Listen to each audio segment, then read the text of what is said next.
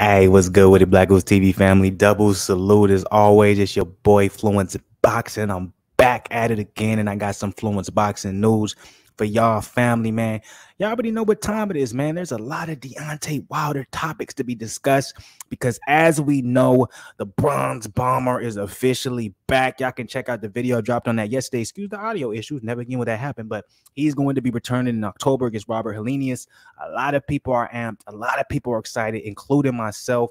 Um, I got a lot of videos that I'm going to be dropping uh, just covering Deontay Wilder, period, because he's making his rounds right now. Um, but with all that being said, I do want to go ahead and put this out here when it comes to this particular topic or it comes to this particular boxing news that I'm going to be talking to the family about.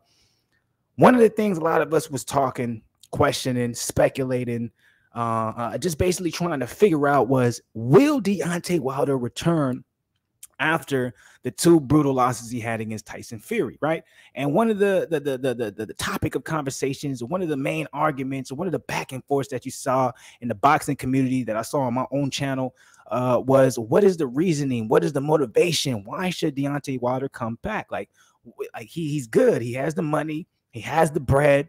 He has a statue in his own hometown. He's getting his flowers before it's too late. Like, why would he come back? What fight is there that will makes sense for him to come out of retirement and take the fight? Like, what is the trajectory that he's looking at or hoping to accomplish when technically he kind of already he kind of already accomplished it all?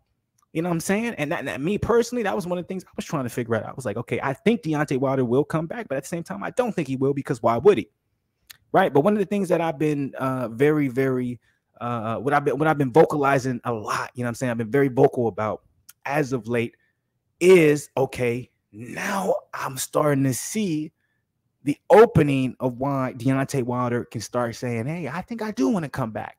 And this is gonna, I'm kind of gonna be, you know, beating a dead horse. So I'm gonna be repeating myself depending on how many videos you watch. If it's your first video, it's the first time y'all hearing me uh, say this, but the heavyweight division is back on fire, similar to, you know, four years ago when uh, it, we had the three-headed monster and Joshua, Tyson Fury, and Deontay Wilder. When it was like, oh, we got to see these guys fight, we got to see these guys fight, and then we had the few and far between. But um, the heavyweight division was just on fire four or five years ago because of the illusion or because of you know the the air of okay, what if Deontay Wilder fights AJ? What if AJ fights Tyson Fury? Like we, we wanted to see these fights because we felt like those were the three best heavyweights, where obviously we end up getting the Tyson Fury uh, Wilder trilogy, and that kind of settled down the heavyweight division.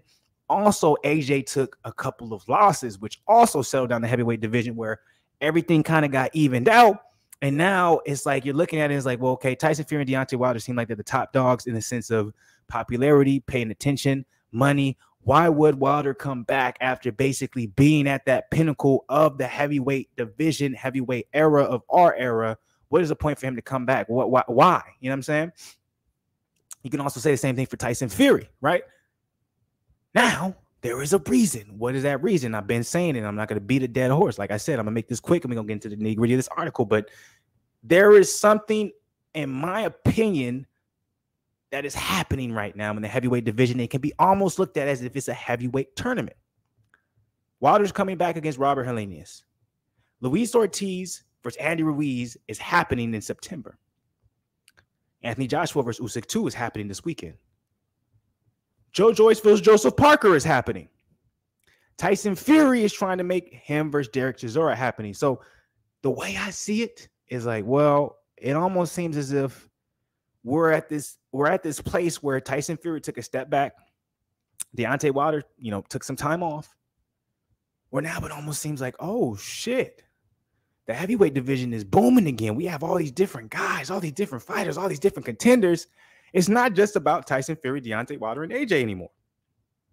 So, because of that shift, which could be strategic in the fact of Wilder staying out, Tyson Fury only taking the the Dillian Whyte fight after Deontay Wilder fight, kind of letting AJ and Usyk have the the prime, you know, what I'm saying spotlight for a little bit and then Joshua and Joseph Parker doing it. Excuse me, uh, Joe Joyce and Joseph Parker now coming into the picture. Now Andy Ruiz and Luis Ortiz coming to the picture. Like it almost seems strategic to an extent, but it makes sense for Deontay Wilder to say, "Hey, okay, yeah, I see a reason to come back. There's motivation there. I would love to fight Luis Ortiz again. Or if Luis Ortiz loses to Andy Ruiz, I would love to fight Andy Ruiz. That's a big money fight in the States. Wilder versus Andy Ruiz is big pay per view money.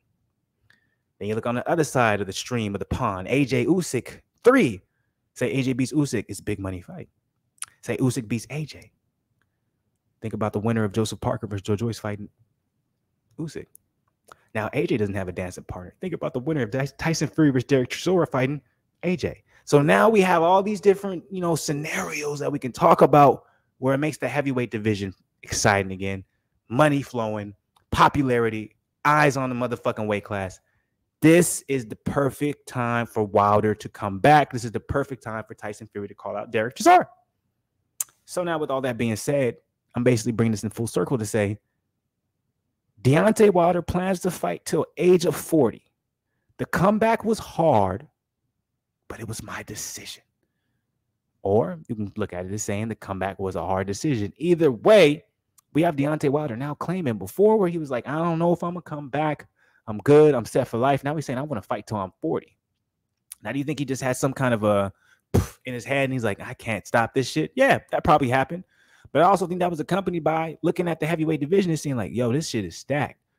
I can have some great fights in this division and they can not be against a Tyson Fury, an AJ, or a Usyk. There's other people I can fight, like a Luis Ortiz again, like a Andy Ruiz, like a Joseph Parker, like a Joe Joyce, right? That's what I'm saying. So let's get into the nitty gritty of this article. Before I do, man, make sure y'all hit the like button below. Right next to the like button is a subscribe button. Hit the subscribe button. Roll to 5K for the end of the year, man. I really want to hit that 5K, man, for real, for real, man. Let's keep growing. Show some love. Comment on this joint. Get me in the algorithm. So not just you are watching it, but your friends can watch it as well. You know what I'm saying? Help your boy get into the algorithm. Uh, show some love. Now, with that being said, let's get into the nitty gritty of this article. Let's see if they got anything that we aren't aware of when it comes to Deontay Wilder and his plans when it comes to the future of boxing. So uh, it's coming from boxing.com.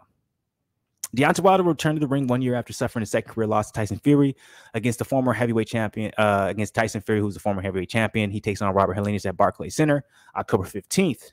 The decision for the former WBC heavyweight champion to announce his return was a drawn out one uh, that featured plenty of contemplation. Although Wilder endured brutal fights and knockouts against Fury, the bronze bomber believes he still has plenty left to give to boxing. I know I'm great, Wilder told Kenneth and Michael Rosenthal on the PBC podcast. I have three, maybe four years left, and then I'm completely done. I've done great with my finances. I make more money outside the ring than inside the ring. To even get in the ring, I need to have a certain minimum. It feels good to make a decision about when and what you want to do. I'm not coming back to the sport because I need to, and it's a great feeling to be on the opposite side because most of the time, other boxers need the money.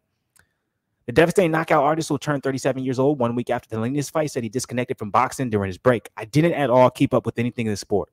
My wife goes to the fights and watches way more than I do. When I'm away, I'm away. I go missing in action on purpose. I'm a renaissance man. I'm more than just boxing. I'm more than just an athlete. At the end of the day, I knew that I had to come back because I motivate, inspire so many around the world. So here I am. I'm very excited to come back to Brooklyn and continue to present my greatness to the world. I've been enjoying myself with my family, kids, and loved one. It was a hard decision of coming back what should I do? Basically, what I wanted to do. Now I'm here. I got the blessing from my family, and basically that's all I need. Now I'm ready to inspire and motivate. You're looking at a guy who has it all, and I say that with a smile. So uh, that that that that really, you know, I'm a big Wilder fan. Like I'm not gonna hide it. You guys know it. If you guys have been fans or family members of this motherfucking channel for a long time, you know I'm a big Wilder fan. Zen's way bigger of a fan of Wilder than I am. I'm a lot more objective when it comes to Wilder, but at the end of the day, a, a spirit like Wilder, what he's done for the sport. I'm really happy to see him back. I can't wait. Um, we got reaction videos dropping uh, uh, as well tonight. I'm reacting to Deontay Wilder. I'm so excited to go over those, man. Man, nothing but respect, love, appreciation for for a great man when it comes to Wilder, man. So um, I can't wait to see him back in the ring him fighting until the age of 40. I'm nothing but in full support because I think in the next three to four years, we're definitely going to see some some some amazing fights in the heavyweight division. And then I think it's going to die off for a little bit because we're in the, we're in the mecca of the heavyweight division right now. We're really blessed uh, to be watching boxing right now and how great the heavyweight division is. So um, let me know what you guys think about this personally how do you feel about the video. How do you feel about everything I said? Do you disagree with anything? You know, I, I might be fanboying a little bit about Deontay Wilder, but you know, he's such a we're gonna 10 years from now, we're gonna look back at this era and we won't be able to talk about Tyson Fury without Wilder. We won't be able to talk about Wilder without Tyson Fury. AJ without Tyson Fury, Usyk, like all these guys are going to be legendary when it comes to the heavyweight division. The same way we look at the George Foremans, Evander Holyfields, uh, the Klitschko's, uh, the Mike Tysons, Muhammad, like they're, they're going to be in that same category. So it's like I'm really trying to appreciate the greatness when it comes to all this that's happening because shit can move so quickly. So with that being said, let me know what you guys think about this video. Hit the like button if you fucking with it. Subscribe to the motherfucking channel if you're not part of the family. Don't make no sense because a lot of y'all be watching and y'all subscribe. So show your boy some love because broke to 5K. We on the way. Y'all already know what it is, man. As always, Arnold Schwarzenegger side of the game. Look, I'll be back, but with more boxing. Stay blessed, not stressed. Much love to the people, man. Stay up. Don't let nobody come and kill your